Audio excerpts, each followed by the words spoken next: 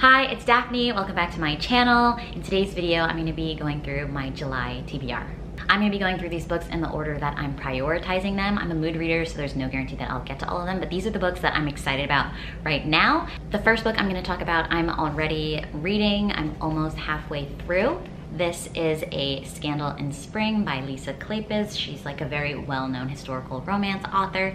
This is the fourth book in the Wallflowers series and the final book in the series, so I'm excited to finish this off. I did read the first three and had like a decent time. I wouldn't say they're like the steamiest historical romances I've read. Lisa Kleypas, I know is some people's like top historical romance author, but she's not like a favorite of mine, but I've been in this series for a while and I'm excited to see how the final wallflower like gets her happy ending. So this book is about Daisy. She's the final wallflower. She has been trying to find a husband for the last two seasons. She's an American. Her father wants her to like get into the British peerage so he can have some status when he goes back to America. Uh, unfortunately, she hasn't been able to find a husband, so her father has given her an ultimatum that if in the next two months she can't land herself a husband, he's gonna make her marry this guy that he's picked. It's a man that he works with and he wants to hand off his business to this guy. She knows that man, his name is Matthew Swift. She knew him from a while back and never really liked him. She thought he was kind of stuffy and too serious, where she's more, has her head in the clouds, loves reading books and things like that. So it's their romance. I'm enjoying it so far. We'll see how it goes. It's giving like three star vibes right now, but I'm definitely gonna finish this soon, um, probably tomorrow. And yeah, so it's on my TBR. And then I also started another book. This is The Company of Fiends. It's the second book in the Tempting Monster series by Catherine Moon. The first book was A Lady of Rooksgrave Manor, which was really floating around booktube for a while. And I thought the second book was gonna continue that same harem group, so I wasn't that interested. But then I recently found out it's like a whole nother heroine, so I'm intrigued. So this heroine, her name is Hazel. She works in the theater. It's like a sex theater where they do these performances with human women and monsters. Um, so that the monsters can come and enjoy. The monsters in this world are very hidden, like humans don't typically know about them unless for whatever reason they like get introduced to like this monster underworld. It's the same universe, like it's not like an alternate reality. Hazel is only half human. She has her, what is her mother? I don't remember what it is. Some kind of like woodland something something, I don't know. But it makes her like heal faster and is stronger or like things like that than the average human.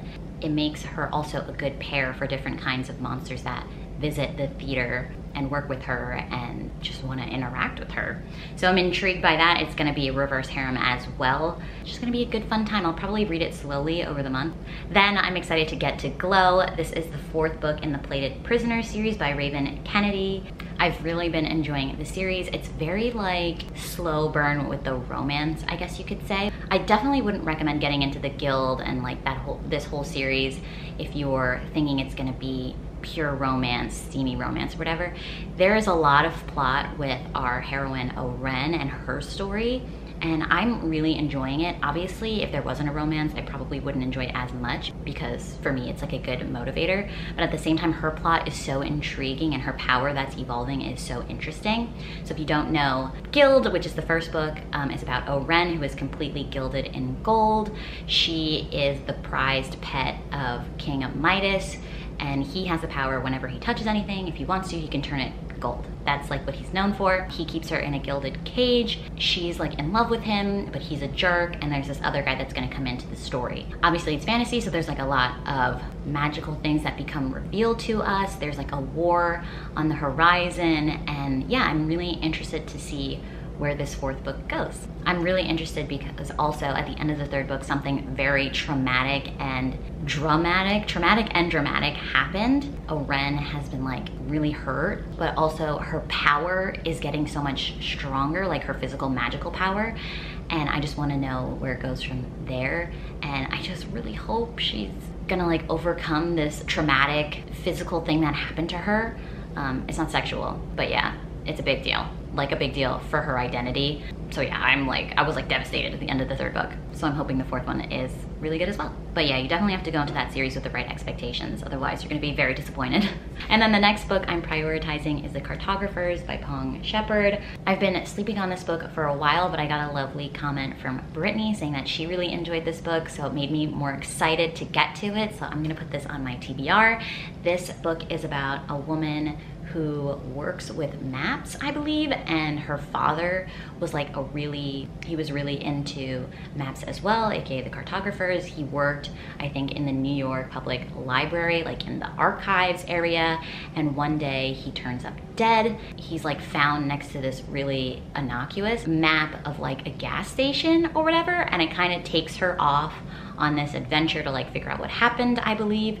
And supposedly there's fantasy elements going on in here and I have no idea what to expect when it comes to that because for a book that's about maps, I'm like, how does the fantasy tie in? So that intrigues me more. And Brittany said that the fantasy aspect was really interesting. And yeah, so that made me excited to get to this. So I've added it to my TBR. And then I also want to get to this book, How to Win Friends and Influence People by Dale Carnegie. This is a pretty well-known nonfiction like self-help book.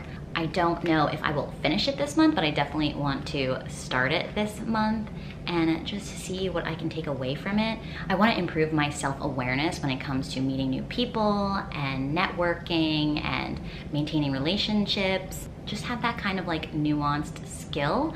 My fiance Chase is very good at that kind of stuff just naturally and he listened to the audiobook of this a while back and agreed with a lot of the things that were said in this book and a lot of the things that he was just doing without thinking about it. So it's good to see that the points made in this book actually work because he's a very social guy. He makes a lot of new friends. He's good at maintaining relationships and things like that um, for the most part. So if he said it made a lot of sense and, and he enjoyed it and thought the input was good, I think I could definitely take away a lot from this book because that's not something, when it comes to social stuff, it's not something I'm naturally gifted at. I think I'm a good person.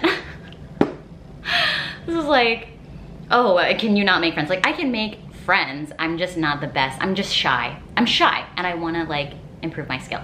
I'm gonna start this in July.